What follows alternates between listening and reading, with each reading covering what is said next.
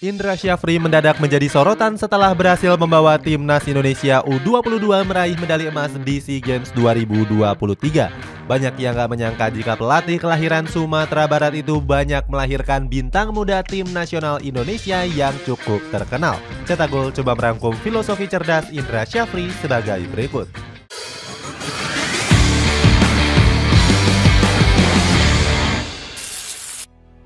Sosok pelatih religius Indra Syafri dikenal sebagai salah satu sosok pelatih yang sangat handal. Gak heran jika pelatih kelahiran Lubuk Nyur ini banyak meraih berbagai kesuksesan bersama timnas Indonesia. Namun siapa yang sangka di balik kesuksesannya Indra Syafri merupakan sosok pelatih yang religius. Dalam urusan agama, ex Bali United ini sangat dekat dengan ulama-ulama Islam di tanah air. Gak jarang ilmu agama yang dia dapatkan ditularkan dengan baik ke para pemain. Indra Syafri juga nggak lupa mengingatkan ibadah sholat yang menjadi salah satu kewajiban umat muslim. Selain itu, dia juga mengajarkan akan pentingnya adab kepada orang yang lebih tua. Bahkan para pemain asuhannya itu sering tertangkap kamera melakukan cium tangan sebelum bertanding. Berikutnya, dia juga menerapkan ilmu bersyukur.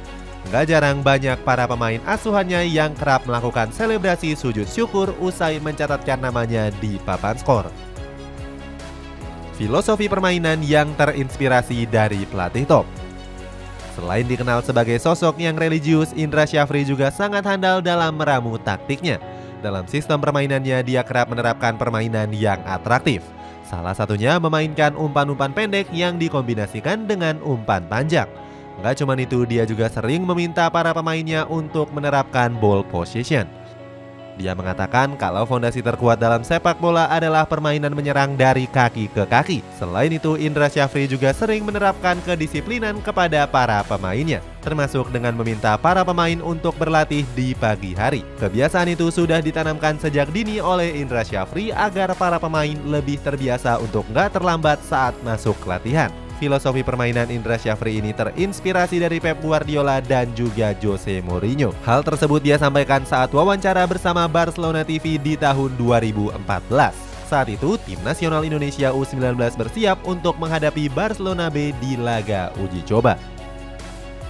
Menerbitkan pemain-pemain bintang. Gak jarang filosofi permainan umpan pendek dari Indra Syafri ini melahirkan banyak bintang. Bintang-bintang tersebut berhasil diorbitkan sejak dirinya melatih tim nasional Indonesia di tahun 2013. Saat itu dia berhasil membawa timnas Indonesia U19 menjuarai Piala AFF saat mengalahkan Vietnam di babak adu penalti. Banyak pemain muda saat itu yang mendadak menjadi sorotan. Salah satunya ada Evan Dimas yang namanya mulai dikenal luas oleh publik sepak bola. Saat itu Indra Syafri memuji sang pemain yang dinilai punya kebugaran fisik yang baik.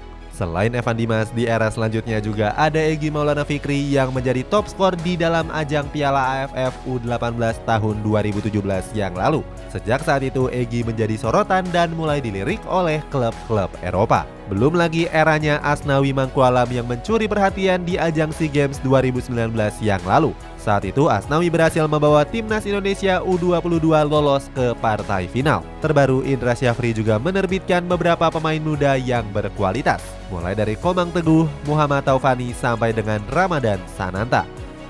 Rekor gila Indra Syafri Indra Syafri bisa dibilang sebagai salah satu pelatih lokal tersukses yang dimiliki timnas Indonesia. Prestasinya dalam menangani skuad Garuda nggak bisa dipandang sebelah mata Kecemerlangannya itu sudah dimulai pada tahun 2013 yang lalu. Saat itu Indra Syafri berhasil membawa timnas Indonesia mengangkat trofi juara di ajang Piala AFF U19. 6 tahun berselang atau tepatnya di tahun 2019, Indra Syafri kembali mempersembahkan gelar Piala AFF U22. Saat itu timnas Indonesia berhasil mengalahkan Thailand dengan skor akhir 2-1. Di tahun yang sama, dia juga hampir membawa timnas Indonesia menyabet medali emas di SEA Games 2019. Sayangnya saat itu skuad Garuda takluk atas Vietnam dengan skor telak 3-0. Empat tahun berselang dia dipercaya menukangi timnas Indonesia dalam ajang SEA Games 2023 di Kamboja. Saat itu dia diberi mandat sebagai pengganti Sintayong yang ingin fokus ke Piala Asia. Namun hebatnya skuad Garuda Muda tampil nggak terkalahkan dan lagi-lagi lolos ke semifinal sebagai juara grup A. Di partai semifinal lagi-lagi tim nasional Indonesia berhasil mengalahkan Vietnam 3-2.